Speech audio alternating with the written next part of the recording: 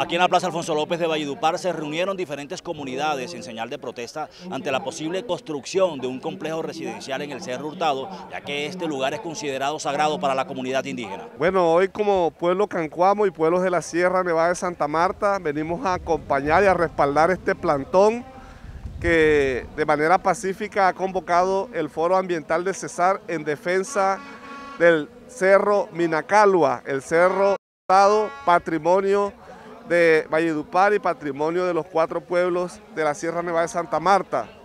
Para nosotros es un sitio sagrado que representa un espacio importante y fundamental de la línea negra y que hoy eminentemente hay un riesgo de afectación por parte de la intervención que se está realizando.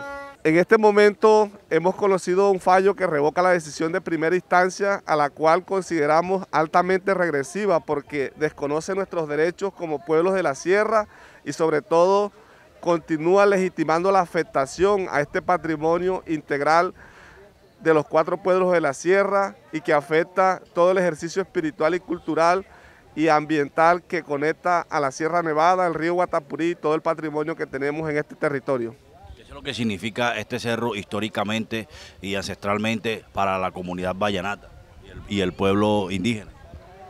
Bueno, nosotros vemos un significado simbólico porque Minacalua es un espacio de fuerza de poder para armonizar el mundo material y espiritual desde ese principio de origen, pero también un patrimonio ambiental para los valleduparenses en el sentido de que es un pulmón que representa muchas especies, biodiversidad dentro del el bosque que, allí se representa y por, para nosotros diferentes espacios sagrados que hoy están en riesgo por esta intervención que se está proyectando. Hoy nos reúne una, una, una iniciativa colectiva de todos los ciudadanos de Valledupar en prodefensa de un ecosistema estratégico que es el bosque seco tropical.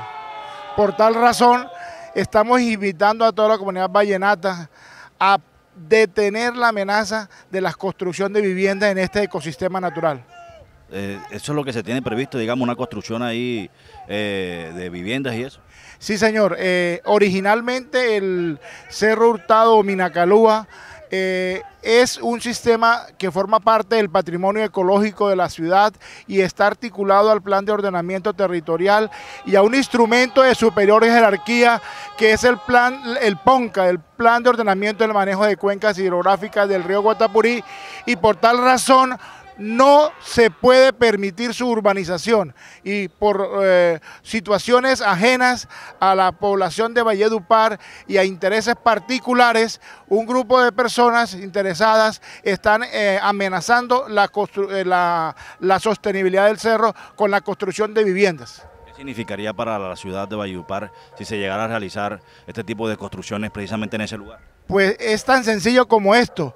¿Queremos que el Cerro Hurtado se parezca al cerro que está en Santa Marta?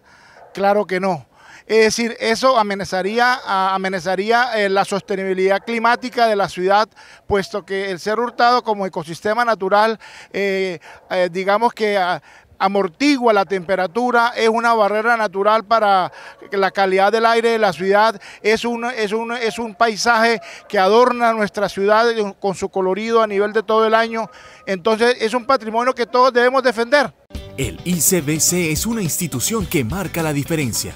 Prestamos servicios como cardiología clínica, cardiología intervencionista, programa de cirugía cardiovascular, hemodinamia, electrofisiología e intervencionismo neurocardiovascular, vascular periférico, métodos diagnósticos destacando cardiología no invasiva.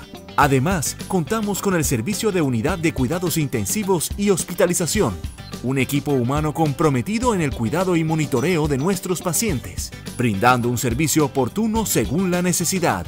Nuestro lema es Por el corazón del valle. Le ponemos el corazón para el bienestar de nuestros pacientes. Somos el Instituto Cardiovascular del Cesar.